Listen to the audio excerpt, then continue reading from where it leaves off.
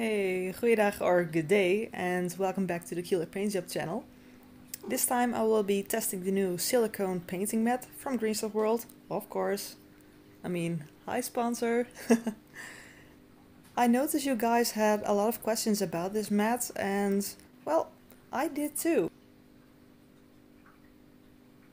They claim it's non-stick, waterproof, easy to clean and has an anti-slip surface. Well, that last one is very easy to test. Let's see. Um, okay, it's mostly the table moving, but yeah, it's not bad. What I myself am mostly interested in is the fact that it should be non-stick and easy to clean. And so the big question here is which products can you use on this mat and which can't you use? I made a nice selection of products to test and hopefully I don't ruin this mat, but if I do, you don't have to. I'm going to test acrylic paint, alcohol paint, metallic paint, interference paint, fluor paint, blood effect, wash, ink, ground texture, rust texture, pigments and liquid mask. On the other side I will be testing the stickiness of Milliput, Green Stuff, Sculpey, UV resin, but also brush cleaner, alcohol, well the cat hair is everywhere, plastic glue, PVA, super glue, master medium and enamel thinner. The cat hair truly sticks great to this mat, it's all over the place. I am mostly nervous about the super glue the enamel thinner because I think it will ruin the mat, but also the alcohol paint and the ink. I think it might stain it. Here you can see the nice selection of products I picked. Yes, it's mostly Greenstuff World products, but that is because I mostly use Greenstuff World products. I didn't want to buy any other brands simply for this test. I'm a big fan of use what you have but of course I had to test the legendary Nuln Oil, because we have all spilled at least one bottle of Nuln Oil. I know you did. I'm also testing these metal pigments, see if they get into the mat at all. And of course, here is all the sticky stuff, including the cat hair. so I wonder if this enamel thinner will actually eat a hole in the mat or not, but we'll see. And I'm going to test two different types of super glue. A gel type and the normal type. So with no further ado, let's get to testing and hopefully don't ruin this thing. This silicone mat is meant for you to be testing all your color schemes before you apply it to your miniature. So you don't actually have to sacrifice uh, a plastic mini or whatever it is you use to test, maybe like I used to do on a plastic spoon. And when you're satisfied with the colors, you could simply wash the mat off and use it again for another project. What is also nice about this mat is that it should be non-stick and as you can see here with the green stuff, it just did not want to stick to the mat. I had to force it down with a tiny bit of violence. Just stay you just got green stuff. Stay. Good. okay. Good boy. Onto the Sculpey, the UV resin. I simply smeared it on and used the torch. The UV torch. The normal one doesn't work. While we are hobbying and into the zone, we often drop stuff, like the Nuln Oil, for example, but also um, some glue can drip down and you don't want your mat ruined by spilling glue, don't you? So of course I wanted to test all these products on the mat as well, see if they will actually ruin the mat or can be taken off just as easily as the paint. And because I had two different types of super glue, I wanted to test them both because that could mean two different responses. I want to be sure they both can be used. At first glance, there doesn't seem to be any kind of reaction to the mat, which is great news. And I'm looking for warping of the mat, but there's nothing there. Also, the green stuff and the milliput and the UV resin all seems fine. No weird re. Uh, wait, the enamel thinner. I think I might be right about that one. It's creating a mountain. Oh shit. That isn't a huge amount of thinner. That's the actual mat that is forming a mountain.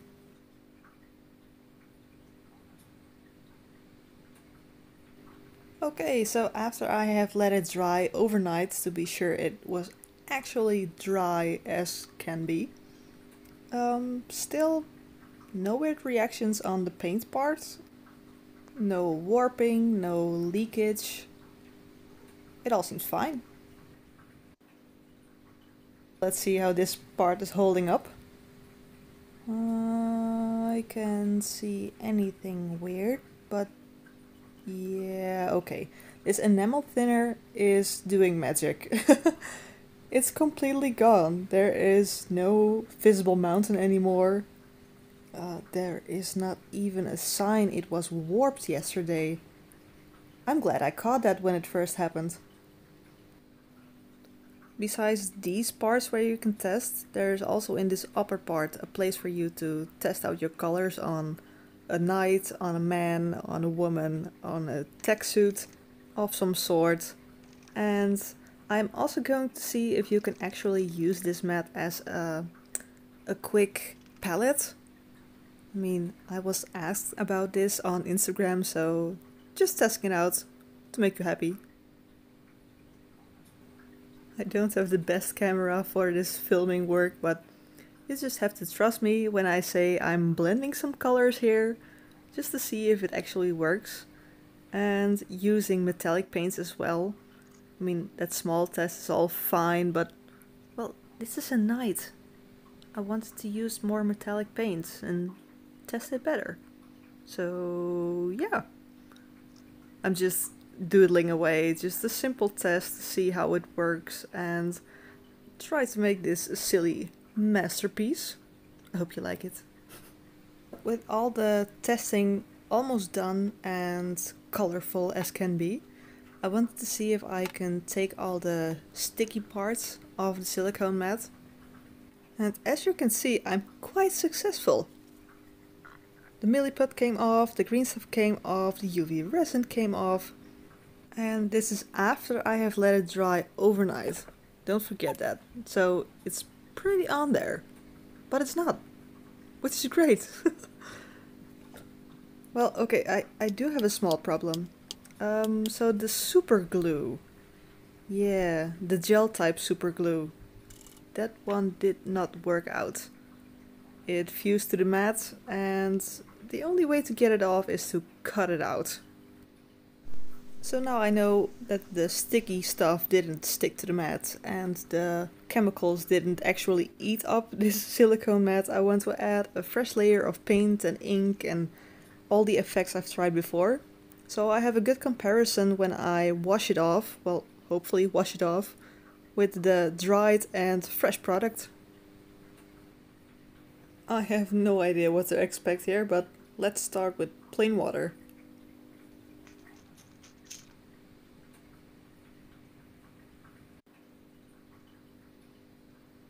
I'm trying to firstly wipe it off, but it has dried a tiny bit in the meantime, so I'm just going to spray some water on it and as you can see it instantly comes off quite a bit.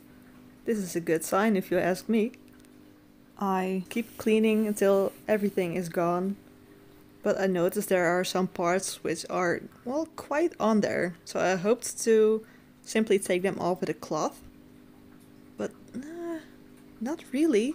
It's very dried on there. I have a new idea. Let's try with isopropyl alcohol. Nice. My tip for you, use alcohol to clean your mat. It works amazing. Now Mr. Knight is completely clean. I'm going to try to take off the products one by one. And hopefully the dried paint and the fresh paint will both come off quite easily. And as you can see, some of the paints and products I can just take off with my finger. I don't even have to scrub them off with a cloth. So, so far I'm very happy.